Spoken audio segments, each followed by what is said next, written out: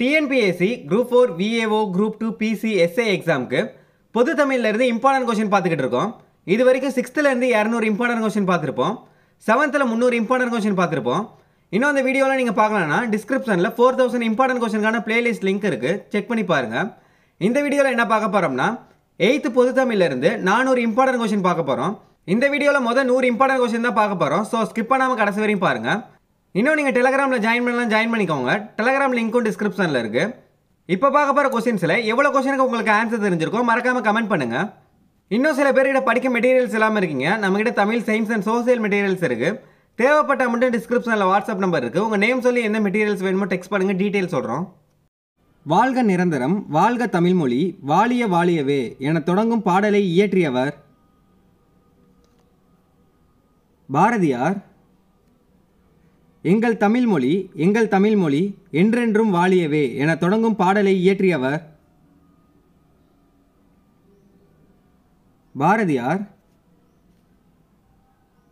நிரந்தரம் என்ற சொல்லின் பொருள் காலம் முழுவதும் நிரந்தரம் என்ற சொல்லின் பொருள் வந்து காலம் முழுவதும் வைப்பு என்ற சொல்லின் பொருள் நிலப்பகுதி வைப்பு என்ற சொல்லின் பொருள் வந்து நிலப்பகுதி. பாரதியார் நடத்திய இதழ்கள் இந்தியா விஜயா. பாரதியார் நடத்திய இதழ்கள் என்னென்னா இந்தியா விஜயா. பாரதியார் இயற்றிய உரைநடை நூல்கள் சந்திரிகையின் கதை தராசு இல்லை ரெண்டுமே சரி. பாரதியார் இயற்றிய உரைநடை நூல்கள் என்னென்னா சந்திரிகையின் கதை தராசு. லா ஆன்சர் வந்து டி ஏசி சரி. வசன கவிதைகளையும் சீட்டு கவிகளையும் எழுதியவர் பாரதியார். சிந்துக்கு தந்தை என்று பாரதியாரை புகழ்ந்தவர் யார்? பாரதிதாசன். சிந்துக்கு தந்தை என்று பாரதியாரை புகழ்ந்தவர் யாருன்னா பாரதிதாசன். செந்தமிழ் தேனி என்று பாரதியாரை புகழ்ந்தவர் பாரதிதாசன். செந்தமிழ் தேனி என்று பாரதியாரை புகழ்ந்தவர் யார்னா பாரதிதாசன். புதிய அறம் பாட வந்த அறிஞன் என்று பாரதியாரை புகழ்ந்தவர் பாரதிதாசன். புதிய அறம் பாட வந்த அறிஞன் என்று பாரதியாரை புகழ்ந்தவர் யார்னா பாரதிதாசன். மரம் பாட வந்த மரவன் என்று பாரதியாரை புகழ்ந்தவர் பாரதிதாசன். செந்தமிழே செங்கரும்பே செந்தமிழர் சீர்காக்கும் என்ற கவிதையை இயற்றியவர் து அரங்கன். செந்தமிழே செங்கரும்பே செந்தமிழர் சீர்காக்கும் என்ற கவிதையை இயற்றியவர் யாருன்னா து அரங்கன். அடுத்தது கூற்று கொடுத்துருக்காங்க. கூற்று ஒன்று புதிய அறம் பாட வந்த அறிஞன் என்று பாரதியாரை புகழ்ந்தவர் பாரதிதாசன். இல்லை கூற்று ஒன்று வந்து சரி. புதிய அறம் பாட வந்த அறிஞன் என்று பாரதியாரை புகழ்ந்தவர் யாருன்னா பாரதிதாசன் தான். கூற்று ஒன்று வந்து சரி. கூற்று இரண்டு செந்தமிழ் தேனி என்று பாரதியாரை புகழ்ந்தவர் கவிமணின்னு கொடுத்துருக்காங்க. இல்லை கூற்று இரண்டு வந்து தவறு. செந்தமிழ் தேனி என்று பாரதியாரை புகழ்ந்தவர் யாருன்னா பாரதிதாசன். இல்லை கூற்று ஒன்று வந்து சரி. கூற்று இரண்டு வந்து தவறு. ஆன்சர் வந்து சி கூற்று ஒன்று சரி கூற்று இரண்டு வந்து தவறு. மொழிக்குரிய ஒழுங்குமுறை. மரபு. மொழிக்குரிய ஒழுங்குமுறை எதுனா? மரபு. செயலுக்கும் மரபுக்கும் உள்ள தொடர்பை பற்றி கூறும் நூல். தொல்காப்பியம். நிலம் தீ நீர் வலி விசும்போடு ஐந்தும் கலந்த மயக்கம் உலகமாதலில் என்ற வரியை கூறியவர் தொல்காப்பியர்.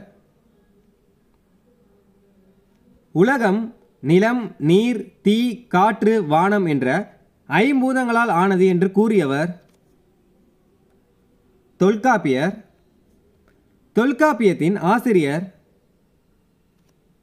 தொல்காப்பியர். தமிழின் மிக பழமையான இலக்கண நூல் எது?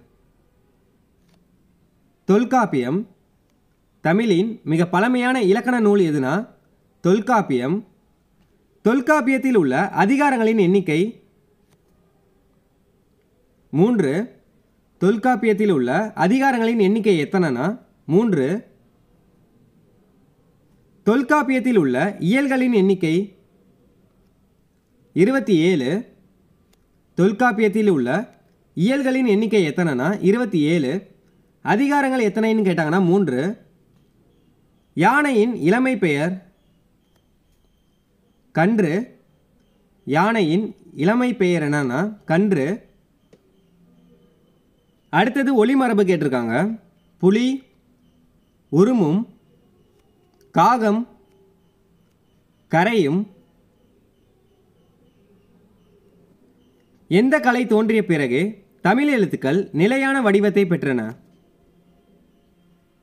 அச்சுக்கலை எந்த கலை தோன்றிய பிறகு தமிழ் எழுத்துக்கள் நிலையான வடிவத்தை பெற்றுள்ளன அச்சுக்கலை தமிழ் எழுத்துக்களின் பழைய வரி வடிவங்களை எங்கு காண முடிகிறது? கருங்கல் சுவர்கள் செப்பேடுகள் இல்லை ஆன்சர் வந்து டி பியும் சியும் சரி தமிழ் எழுத்துக்களின் பழைய வரி வடிவங்களை எங்கு காண முடிகிறதுனா கருங்கல் சுவர்கள் செப்பேடுகள் கல்வெட்டுகள் எந்த நூற்றாண்டு முதல் கிடைக்கின்றன? கிமு மூன்றாம் நூற்றாண்டு. செப்பேடுகள் எந்த நூற்றாண்டு முதல் கிடைக்கின்றன? கிபி ஏழாம் நூற்றாண்டு முதல். கல்வெட்டுன்னு கேட்டாங்கன்னா கிமு மூன்றாம் நூற்றாண்டு. செப்பேடுகள்னு கேட்டாங்கன்னா கிபி ஏழாம் நூற்றாண்டு. மிக பழமையான தமிழ் எழுத்து முறை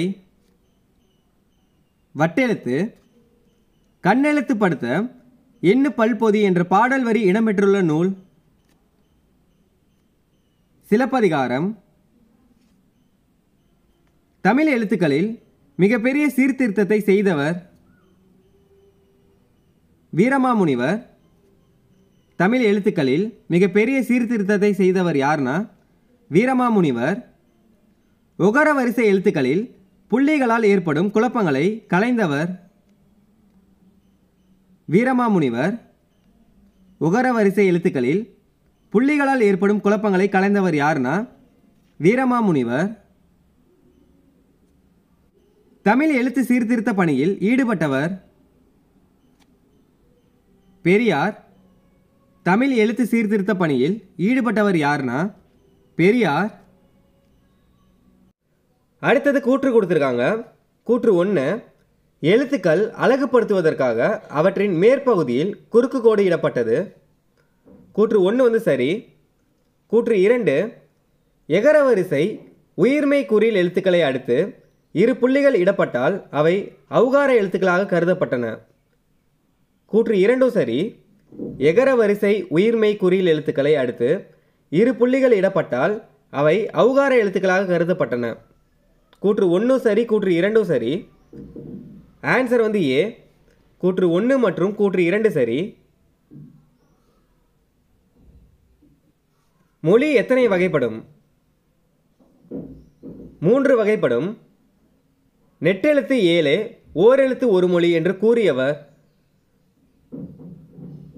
தொல்காப்பியர் நெட்டெழுத்து ஏழு ஓரெழுத்து ஒரு மொழி என்று கூறியவர் யார்னா? தொல்காப்பியர் குற்றெழுத்து ஒன்று தனித்து நின்று சொல்லாவது இல்லை என்பதை குற்றெழுத்து ஐந்தும் மொழி இலவே என்று கூறியவர் தொல்காப்பியர்.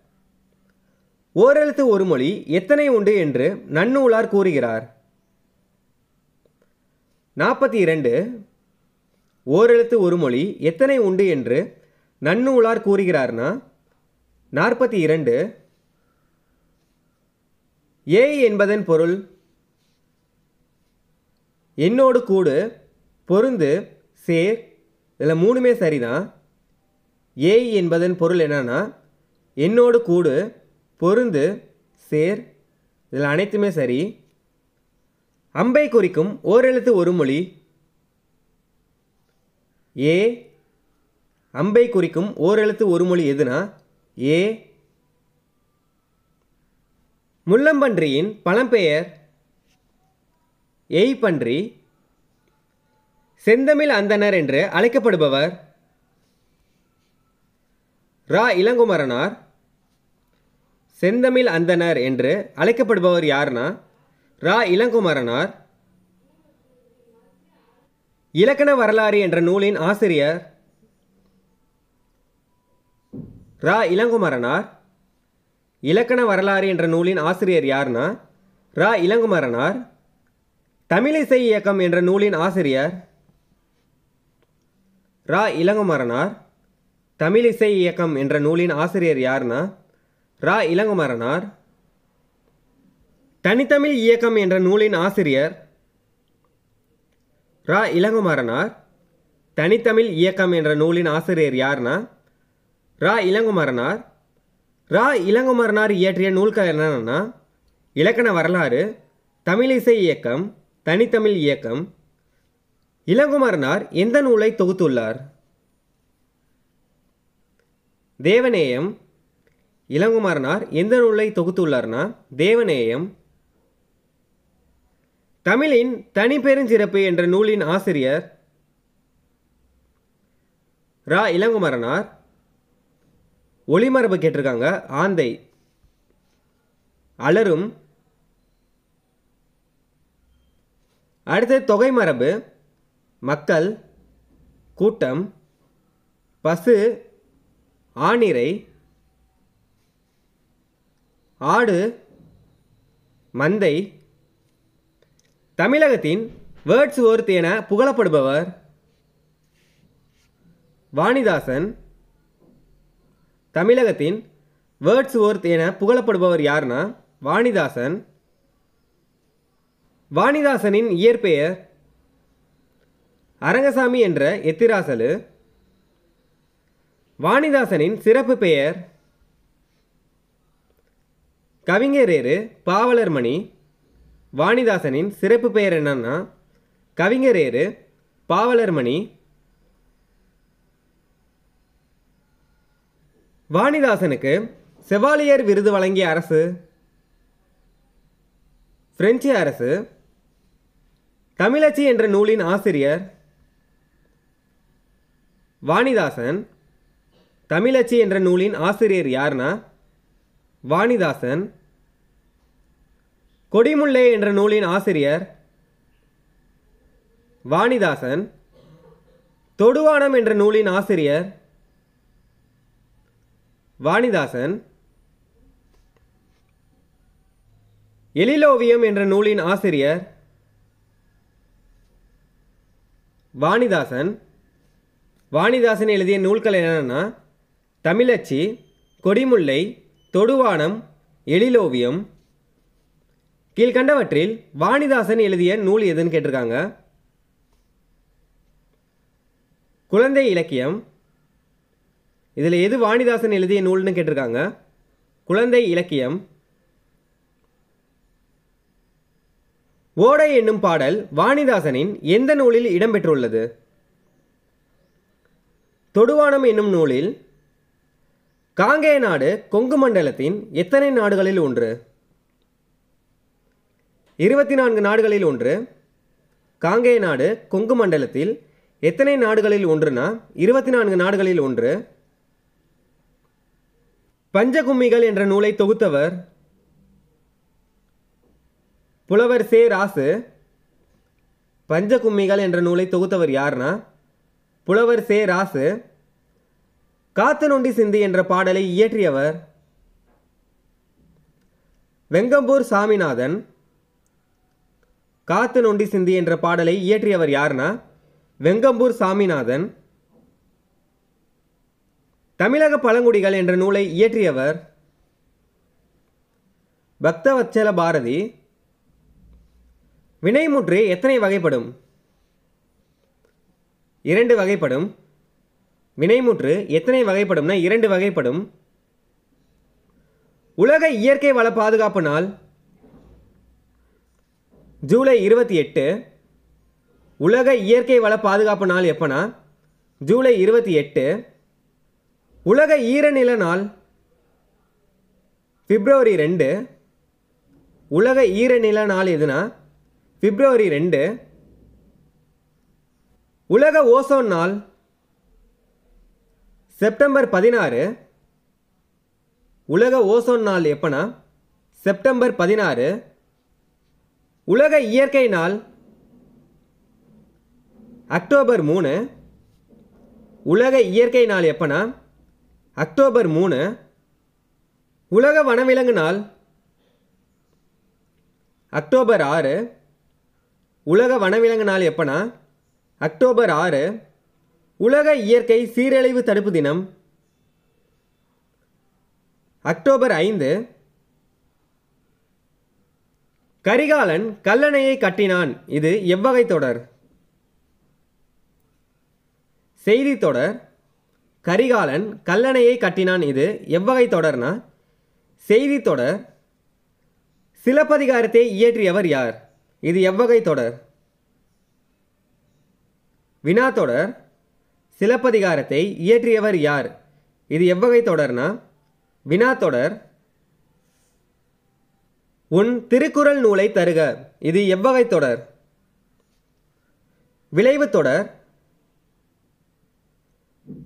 உழவு தொழில் வாழ்க இது எவ்வகை தொடர்? விளைவு தொடர். உழவு தொழில் வாழ்க இது எவ்வகை தொடர்னு கேட்டிருக்காங்க. விளைவு தொடர்.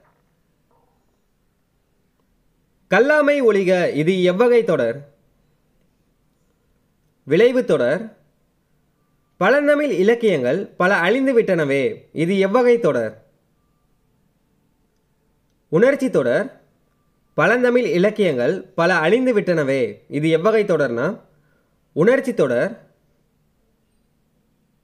அடுத்தது கூற்று கொடுத்துருக்காங்க. கூற்று ஒன்று வியங்கோல் வினைமுற்று விகுதி பெற்று வரும். கூற்று ஒன்று வந்து சரி வியங்கோல் வினைமுற்று விகுதி பெற்று தான் வரும். கூற்று ஒன்று வந்து சரி கூற்று இரண்டு ஏவல் வினைமுற்று விகுதி பெற்றும் பெறாமலும் வரும். கூற்று இரண்டும் சரி கூற்று ஒன்றும் சரி கூற்று இரண்டும் சரி. ஆன்சர் வந்து ஏ இதான் ஆன்சர் கூற்று ஒன்று மற்றும் கூற்று இரண்டு சரி. அடுத்தது கூற்று கொடுத்துருக்காங்க. கூற்று ஒன்று ஏவல் வினைமுற்றுகளில் ஒருமை பன்மை வேறுபாடு இல்லை. கூற்று ஒன்று வந்து தவறு.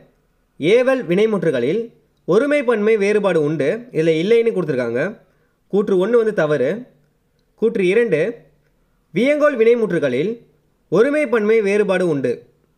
கூற்று இரண்டும் தவறு. வியங்கோல் வினைமுற்றுகளில் ஒருமை பன்மை வேறுபாடு இல்லை. இதில் உண்டுன்னு கொடுத்துருக்காங்க. இதை அப்படியே மாற்றி கொடுத்துருக்காங்க. கூற்று ஒன்று வந்து தவறு. கூற்று இரண்டும் தவறு. ஆப்ஷன் வந்து சி. இதான் ஆன்சர். கூற்று ஒன்று மற்றும் கூற்று இரண்டு தவறு.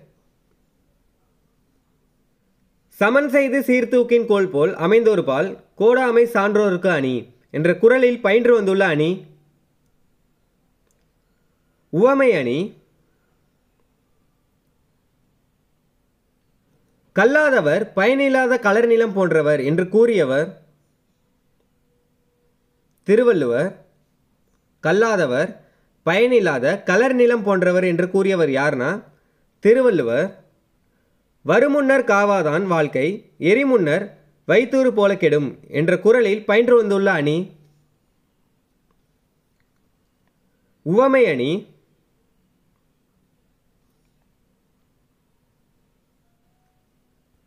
பெருநாவலர் என அழைக்கப்படுபவர் திருவள்ளுவர் முதற்பாவலர் என அழைக்கப்படுபவர் திருவள்ளுவர் நாயனார் என அழைக்கப்படுபவர் திருவள்ளுவர் திருவள்ளுவர் எத்தனை ஆண்டுகளுக்கு முற்பட்டவர்? இரண்டாயிரம் ஆண்டுகளுக்கு முற்பட்டவர் திருவள்ளுவர் எத்தனை ஆண்டுகளுக்கு முற்பட்டவர்னா? இரண்டாயிரம் ஆண்டுகளுக்கு முற்பட்டவர். உலகின் பல்வேறு மொழிகளில் மொழிபெயர்க்கப்பட்டுள்ள சிறந்த நூல் எது? திருக்குறள். திருக்குறள் எத்தனை பகுப்புகளை கொண்டது? மூன்று பகுப்புகள். திருக்குறள் எத்தனை பகுப்புகளை கொண்டதுன்னா மூன்று பகுப்புகள். அறத்துப்பால் எத்தனை இயல்களை கொண்டது? நான்கு இயல்கள். அறத்துப்பால் எத்தனை இயல்களை கொண்டதுன்னா நான்கு இயல்கள். பாயிரவியல் திருக்குறளில் எப்பாலில் இடம்பெற்றுள்ளது? அறத்துப்பாலில் பாயிரவியல் திருக்குறளில் எப்பாலில் இடம்பெற்றுள்ளதுனா அறத்துப்பாலில் இல்லறவியல் திருக்குறளின் எப்பாலில் இடம்பெற்றுள்ளது?